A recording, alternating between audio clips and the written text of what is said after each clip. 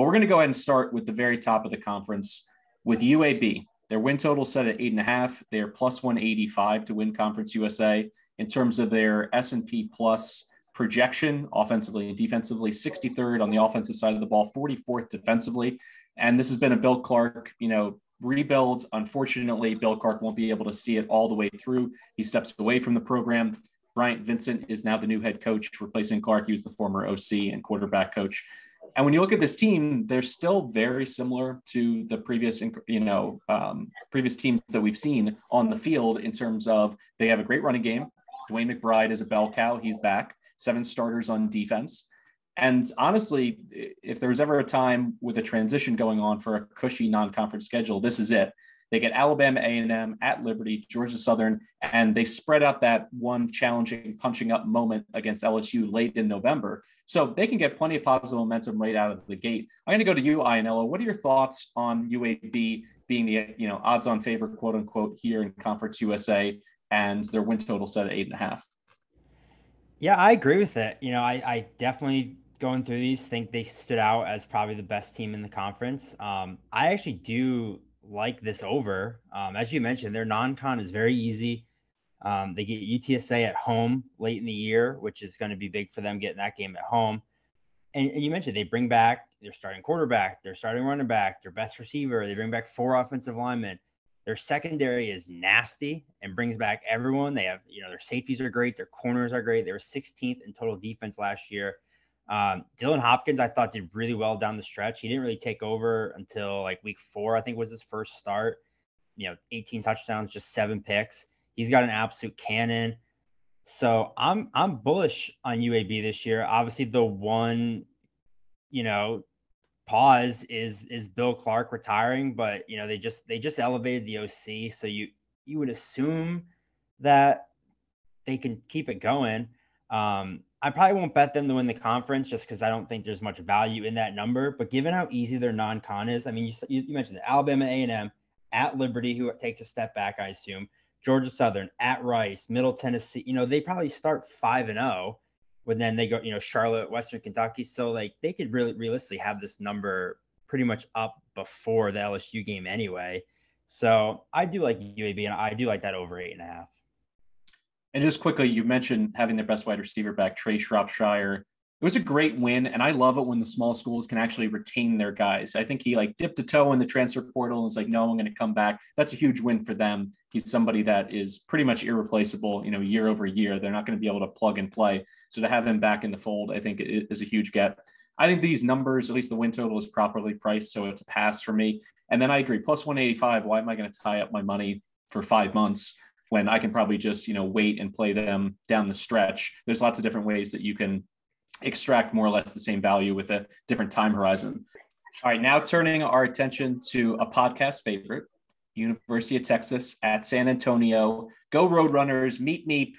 I'm excited about this team. And and honestly, even though this is a group of five podcasts, I'm not a believer in that, hey, you run the table. Why aren't you in the college football playoff conversation? That's just should never be the case. It's it's got to be based on who you beat, where you play them, and in a lot of cases, you can take, you know, there's uh, 60 plus teams in the G5 level.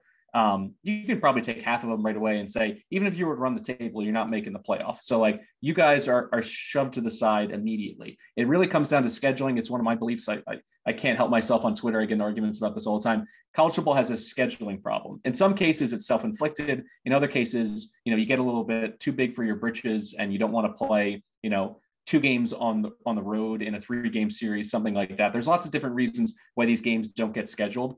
But UTSA, when you look at the beginning of their season, kind of tailor made for national attention. They get Houston at home. How big is that? That's like that's like G5 kickoff classic right away. I think it should have tons of attention, even though it's in week one up against some of the other major games. Two really quality teams that won a ton of games last year, both over 10 wins. Then they're at Army and then at Texas which I believe is right after they play Alabama. So talk about a letdown spot. One way or the other, Texas wins that game. They can't be focused on UTSA. If they get their doors blown off, then they got to deal with all of the Texas's back jokes for an entire week.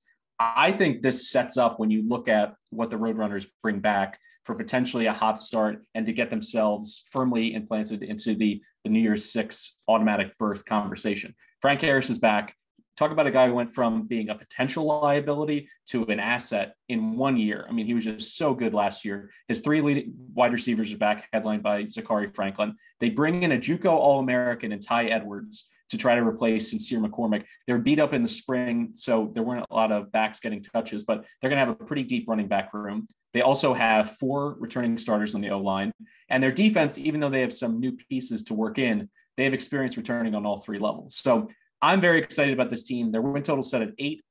They're two to one to win Conference USA. S- SP Plus has them 37th on offense, 91st on defense. I think the offense, to be honest, I think th- this is a little bit overinflated about just how good Sincere McCormick was. And he was great, but I do think that Ty Edwards has a chance to replace 90% of his production. And if he does that and the, the quarterback play from Harris remains at this level, I think they are my pick at least to win Conference USA. And I think they're going to split the, the Houston and Texas games, the against Burnt Orange. How many Roadrunner fans do you think are going to show up in Austin? I think that's a, a really fun opportunity for them. I think they're going to play up in that game. So I'm going to see them going two and one out of the gate. What are your thoughts on them, Ianniello? Yeah, you know, I'm high on them as well. I think, you know, obviously we loved them last year, meet meep all day. Um, I agree. I think they're in the in the conference title game again against UAB. Um, I would probably pick them in that game, uh, to be honest with you. Um, I'm a little more worried about the non-con as you. Um, you mentioned the win total around eight, eight and a half, depending on the book. I'm more on UABs than I am UTSA's, just given the, the difference in the non-con. Because I wouldn't be shocked if UTSA starts one and two. Um, and I mentioned UAB gets the game at home, but UTSA does uh, get a bye the week before, so that that two weeks, you know, probably negates the home field advantage there. So I think that's going to be a good game. Um, like you mentioned it, you know, Frank Harris went from uh, okay, just give the ball to McCormick and get out of the way to now. I mean, he's probably the best quarterback in this conference. Gets all the weapons back. Rashad Wisdom is probably the best defender in this conference. He's he's back again. He's one of those, you know, do it all center fielder safeties that flies around, makes tackles, gets involved in the passing game. Um, so I am I'm bullish on UTSA again. They're another team that I will be rooting for and probably betting on week to week. Um, but I don't have anything in them as far as preseason goes. Their their non-con just scares me enough to to stay away the win total. For our next team, a pod favorite again, Western Kentucky sitting at eight and a half on their win total, minus 130 to the under, five to one to win Conference USA, 30th in SP plus on offense, 96 on defense. For me, I'm just going to get this out of the way immediately. This is a Shawn Michaels, Ric Flair moment where I'm about to say I'm sorry before killing these guys, but I loved you. Zach Kittley's gone. Bailey Zappe's gone. Jarret Doege is no Bailey Zappe. I know that they have some interesting pieces at wide receiver, but this defense was really bad last year. And I would be shocked if they cracked the top 100 defensively. Now, it's going to be masked early on by the fact that week zero, they play Austin Peay at Hawaii, at Indiana, Auburn late in the season. So they're not going to get exposed by an SEC team, lose by 40 early. I actually think what's going to happen in this case, though, is that it's going to be a team that potentially could be treading water through September. And then I want to hammer them when they get to Conference USA because I just do not think that they have the offense to keep up. I understand that they have continuity at the very top, you know, with their head coach, but Kittley, it was magic. And now he's in Lubbock, he's in Texas Tech, Bailey's gone.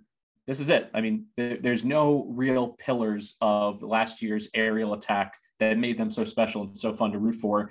Is this a team you're going to stay away from for sentimental reasons, or are you going to join me in fading the Hilltoppers, Ianniello? I hate it.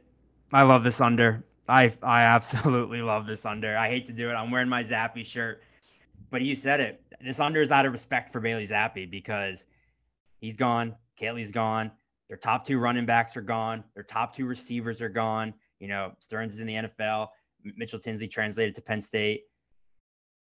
Jarret Doege's this is what like his seventh year playing college football. He's thrown for ten thousand yards, but he still threw, he threw twelve picks last year at West Virginia, and the idea of having an offense that is predicated on Jarret Doege throwing the ball fifty times a game is terrifying. And at the end of the day, as much as you know, no one loved Western Kentucky more than you and me. Their win totals at eight and a half. They only won eight regular season games last year. You're telling me this team is going to win more games than last year's team?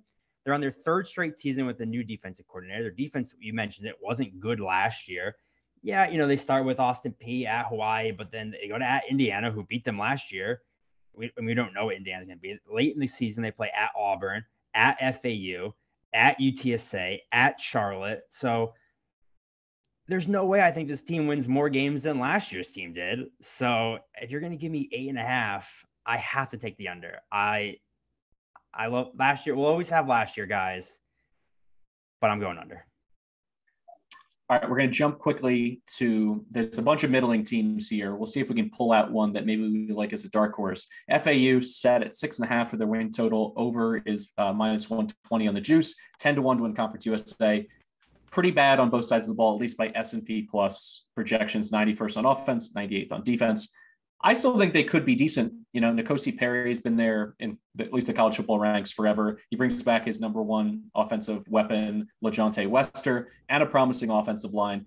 The schedule's not doing them any favors, to be honest, though. You know, they start with Charlotte, they're at Ohio, they get UCF to, on the 17th, and then they're at Purdue in the non conference. I think they could get beat up and this was a team that it was the opposite last year. They got off to a hot start, but they lost their last four when they were right on the precipice of bowl eligibility. So maybe we see you know a role reversal here. People selling quickly on the Owls under Willie Taggart. I, they're at least a stay away from me in the month of September, just because I think they have experience, but there's a lot of new offensive line pieces, even though they have some experience there they got to be really good in that element of the game in the trenches because if they're not, N'Kosi Perry is not a guy who's going to make big plays under pressure constantly. So uh, it's it's fair to say this is a wait and see situation. But do you have any hot takes on the Owls right out of the gate, Ianniello? No, they're stay away from me too. You mentioned it. N'Kosi Perry is one of those guys where like every now and again he'll make a play that you're like, oh, that's why he was at Miami, and then the next quarter he'll make a play that you're like, how the hell is this guy even playing football? Um, he's very wildly inconsistent. Um, the defense should be solid again. Their front sevens should should still be pretty good, but they do have some holes on defense to fill. Um, like you mentioned, that them, them kind of falling off last year at the end is always a concern. You know, we, we tend to I like to back teams that ended the year strong versus just you know losing four straight games, two of which were to you know like they lost to Middle Tennessee at the end of the year. Like that that that shouldn't be happening to FAU. So we're going to switch it up a little bit here. As I mentioned, there's a bunch of teams in the middle that potentially, you know, could pop. But what I'd like to do is offer three teams. You tell me which one you like the best. We'll run through La Tech, North Texas, UTEP, all in that 12 to 15 to 1 range to win the conference. La has 14 returning starters. The, the tidbit that I'll throw in here, I love when there's a rising coordinator that comes up from the FCS level. Scott Power was an amazing defensive coordinator at Stephen F. Austin, always top 20 units. So I anticipate, you know, them potentially improving by leaps and bounds on that side of the ball. North Texas, their win total at six, as I mentioned, 15 to one to win Conference USA. Seth Littrell's been around for a long time. I mean, he broke through that trick play against Arkansas and their upset win on the punt return. It looked like he was going to be one of those guys to take a stepping stone job from North Texas up to the Power Five level. It didn't materialize for him, but this team can really run the ball. They returned four or five starters on the offensive line, and they won five straight to end the regular season in 2021. Uh, also, in terms of a, a potential breakout candidate, Tom Trebe JUCO All American, 25 tackles for loss last year. So even though they're 88th in projected defensive efficiency, I could see them being a little bit better on that side of the ball. And then finally, a team that's been close to our heart, the UTEP Miners. A lot of familiar faces back.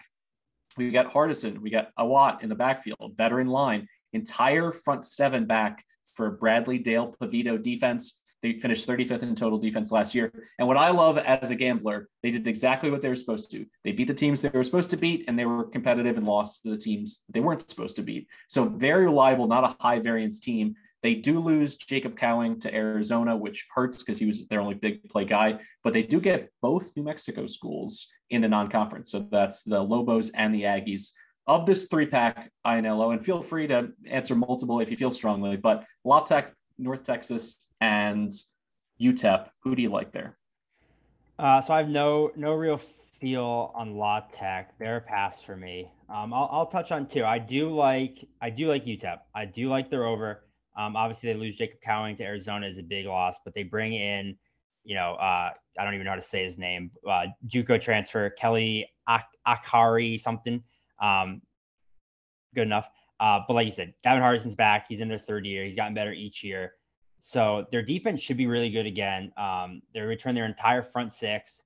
Uh, they need to replace wide receivers and cornerbacks. But other than that, you know, I, I do think the schedule is pretty manageable. Um, so I do like the UTEP over. But like you said, this is a fun. I feel like this is gonna be a fun conference because obviously UAB and UTSA, I feel like are, are pretty much in a tier of their own. You can make a case that there's seven teams that could finish anywhere from like five to seven wins. So I think there's going to be a lot of toss-up games, which allows me to kind of take more dart throws on conference futures because if one of those two big dogs slips up, you know, if Frank Harris gets hurt, if if Bill Clark leaving really up, you know, upends UAB, any of these teams could be positioned to play in that conference championship game now with with no divisions. So I'm going to throw a dart here, and I'm going to throw a dart with the Mean Green of North Texas. You mentioned it. They they've been really really solid under Seth Littrell. They've uh, made a bowl in, I believe, what, like five of his six years. Um, and their team, you know, we talked about uh, FAU. They won five straight games to end the year after really switching. You know, they've always been kind of a throw it around team. And they really switched to a run first approach towards the end of the year with DeAndre Torrey. Obviously, he leaves, but they still return three freshman running backs who all had six touchdowns last, at least five touchdowns last year. Ragsdale, Addae, and Isaiah Johnson. On top of that, they bring back Oscar Adaway, who was their leading rusher in 2020, I believe, and then he tore his ACL in spring camp last year. So they are super depth at running back. They bring back their leading receiver from last year, Roderic Burns. They bring back Jyaire Shorter, who is another you know highly touted wide receiver who got a season-end injury week three. Um, you mentioned the defense bringing in some depth. KD Davis led the whole conference in tackles last year. He's nasty at linebacker. So for me, with with North Texas, it really comes down to Austin Aune, their quarterback, who he, he's he's the Brandon Weeden, where he turns 29 in September. He spent six years as a Yankees minor league prospect. He was an outfielder in the Yankees system. Good arm. Um, and he, you know, he he definitely struggles with turnovers, but he shows the talent, the arm talent. He has a cannon, and you'd hope a 29 year old can, you know, mature and, and be a team leader and, and cut down on some of those turnovers. Um, I believe it was Giraffe FanDuel maybe had a uh, plus 2,000 to win the conference. So in, in a conference that we mentioned is so wide open, I'll take a dart though on, on this team that just they know how to run the ball. They return four offensive line starters. So I think they have so many good pieces in part. If their quarterback can just cut down on the turnovers, and one of the top two falls, I think the Mean Green are in a good position to kind of take a step forward. All right, going from some teams that, depending on how you view it, you could view it optimistically to two teams that I think potentially are headed in the wrong direction. Rick Stockstill enters his 17th year in Murfreesboro, leading the Blue Raiders of Middle Tennessee. They only have eight returning starters, and they got some problems with the schedule. At James Madison, James Madison's very first game at the FBS level, a proud, dominant FCS school. You know that's going to be a wild sellout. Then they go to Colorado State, which we alluded to in the previous Mountain West podcast as a team that could be very dangerous offensively. They're at Miami, Florida as well, all in the month of September. When you look at their win total at five, they're 15 to 1 to win Conference USA. I'm going under. I'm totally passing on them as a quote unquote long shot. 102nd in projected offensive efficiency, 99th in defense. I'm very, very low on the Blue Raiders here. Is there anything I'm missing in terms of you know having optimism for a team that yes went to the Bahamas Bowl, beat a good Toledo team, but not many of those players are back? What are your thoughts, Ianniello? Yeah, I'm with you. There, I'm not going to bet the under probably, but they're definitely a stay away for me. They're another one of those teams that's like they played four different quarterbacks last year, large, you know, some due to injury, large, some due to just they all weren't very good. You know, Bailey Hockman had a lot of, you know, promise coming in from North Carolina or NC State, uh, just left the program after week three. I, I, you know, we don't even know why that happened. Uh, Chase Cunningham appears like he'll be the starter, I would assume, uh, but he got hurt. We, he tore his ACL week nine last year reports out of campus he's expected to be ready for the start of the season. But again, you know, tearing your ACL in, in November, who knows what he'll be, especially early on in the year. They only returned one offensive line starter. The defense was not, you know, completely anemic last year, but a lot of that was they led the country in turnovers. Um, so how much of that can you attribute to turnover luck or how much of it was just, you know, yeah, they, they definitely play that aggressive style, but you can't bank on your team leading the country in defensive touchdowns again. So I definitely agree with you that they're they're a stay away from me, and, and if not, you know, you you lean to them for them to take a step back. I can't see this team bowling again.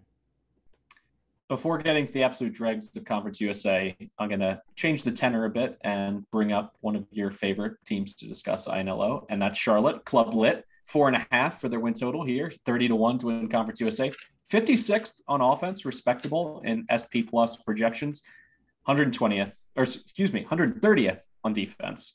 So Chris Reynolds, now a six year senior, playing forever. You know what you're going to get with him. His three top pass catchers are back, four offensive linemen. The defense that was already really bad is breaking in six new starters. Um, not a team that I'm going to really mess with all season. I don't think just because their defense potentially could give up 50 plus points any game that they, you know, roll the footballs out. So I don't know. What are your thoughts on the 49ers? Is it a team that is just uh, a sentimental favorite for you? One of your better upset calls in the beginning of the podcast last year. Where are you on Charlotte? Yeah, like you mentioned, I had I had them beating Duke last year on the money line. That obviously worked. Matt Mitchell, play the music. Club lit. We're firing it back up. Over four and a half. Give it to me. You mentioned it. Chris Reynolds is back at the helm. He's another one that's been in college football for 10 years. Um, it's his fifth year. He's already the school's all-time passing leader. He, I love him. He's this short, little, stocky quarterback, but he is a gamer. They bring back their top running back, all three of their top running backs. They bring back their top three receivers. You know, Victor Tucker, Tucker's been a guy we've loved. We saw Grant Dubois really. Uh, he kind of had that big breakout game against Duke. Um, Elijah Spencer was the Conference USA Freshman of the Year. He's back at receiver. They have a solid tight end. Sure, does the defense concern me a little bit? Maybe, but they had co-defensive coordinators last year. Did not work. Got rid of them both. Greg Brown, they bring in. He's a veteran. He's been coaching football since 1981. He spent 12 years in the NFL as a DB coach. He's DB coach for Purdue the last two years, and they're really just overhauling this defense, completely overhauling their coverage schemes. So I think the defense does improve a little bit. And I mentioned it, then bringing back everybody on offense. I absolutely love. And there's, like I said, their win total is four and a half. And if you look at this schedule, all right, so they start with Florida at Florida Atlantic, probably a loss. William and Mary at home. Then they go to Maryland, bet that over. I don't care what it is, over 89 and a half. Give me that over. But they get, you know, FIU, which should be a win. They go at Rice, which should be a win. And then they finish the year with the Western Kentucky, Middle Tennessee, La Tech, all those kind of middle teams. We talked about all the toss up games in here. If I can sit there and circle three you know, pretty confident wins between UTEP, Western Kentucky, Middle Tennessee, La Tech. They got to win two of those to hit this win total over. So I love Will Healy. I love what he's done. I love how much the offense brings back. I'm going with the 49ers. Club Lit is going to be bouncing at least five times this year. We can discuss Rice and FIU if we have to hold our nose. I can deal with it. Rice, the Owls, two and a half for their win total, minus 140 to the over, 100 to 1 to win Conference USA. Uh, 127th on offense, 120th in SP plus defensive projections.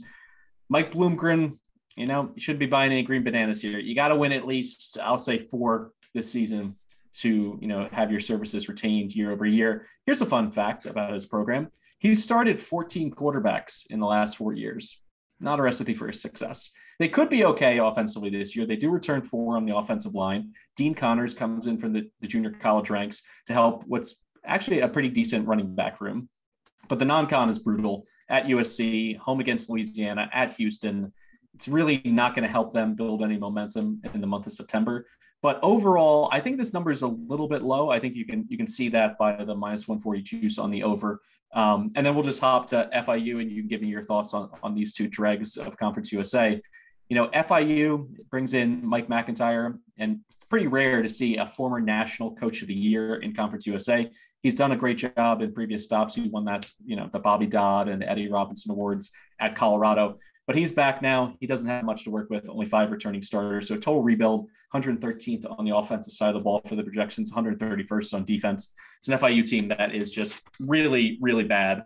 Now, the thing about it though is early on, they get Bryant at home, you know, not to not to be messed around those NEC conference teams at Texas State, at Texas State, and then October 1st at New Mexico State. And then they even get UConn on October 8th. So I understand the three and a half, one game better than Rice, even though in terms of all the projections, both sides of the ball are going to be worse.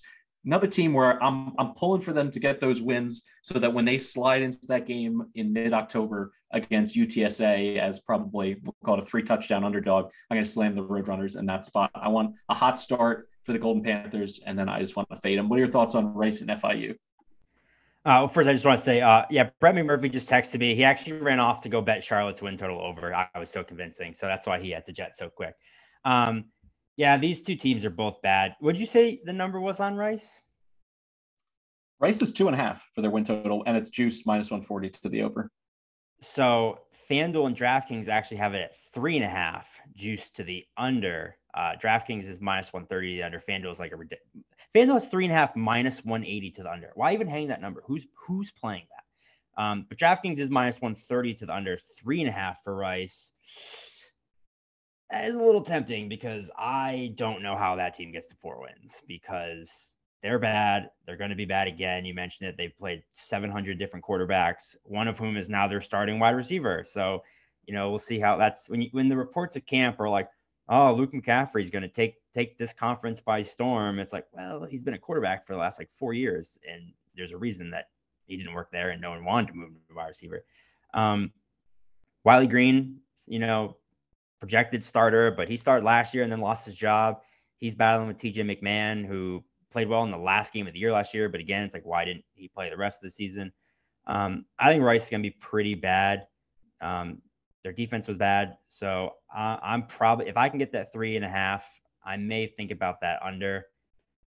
Florida International, you know, two and a half, three flat, depending on where you look. They're another one where I really don't have any interest in playing whatsoever. Aren't they the team that didn't didn't when Butch don't Butch Davis got fired last year? Didn't he like go scorched earth on the way out and be like they don't give a shit about football or winning at all and like basically just eviscerated the entire staff? Now they bring in Memphis' defensive coordinator. Pretty sure Memphis' defense was pretty bad last year, so I don't know that that's exactly expiring conference. Gunnar Holmberg, another Duke, you know, maybe you get the, the Duke transfer that throws a million interceptions and drops down to the G5 and, and all of a sudden is not a turnover machine. Um, you know, we saw it work at App State, so maybe that that helps. But both these teams are really bad, so I would definitely I would lean under on the Rice three and a half. Um, FIU is probably more stay away from me. I think the number is just too low um, to want to really sweat it. Um, but they're both going to be bad, and they're, they're they're what gives me hope for the Charlotte overs because Charlotte plays them both. Just a little fun fact for any fans who are like, you know what, Ianniello, you're making a lot of good points on Rice. Three and a half, I want to go under, but minus 180. Well, just go ahead and use a free multiplier. Just parlay it with Arkansas State under five because there's no chance Arkansas State is winning more than five games this year. So that's the free one I'm tagging on to all of my preseason bets just to you know flip the number around in my favor. Um, I, I, think you did a great job summing it up. These teams don't have a lot of promise right now, and there's plenty of teams in the middle of Conference USA. If things go right, they're winning seven or eight games, which means somebody's got to do the Lord's work and just rack up those Conference USA conference losses so that all all the math works out. Somebody's got to lose these games. I think we're staring dead at them here because offensively, both of them are going to be really challenged to move the football and score and be explosive and all it doesn't even matter the metrics you're looking at. Like the eyeball tests, they're going to be bad on offense. For Mike Ianniello, I'm Mike Calabrese. This has been the Big Bets on Campus podcast, our Group of Five deep dive. We are three fifths of the way through our G5 preview, which means that we are going to welcome Stuckey into the fold, and he's going to help us with the AAC and the MAC, the beloved MAC, before we're all done.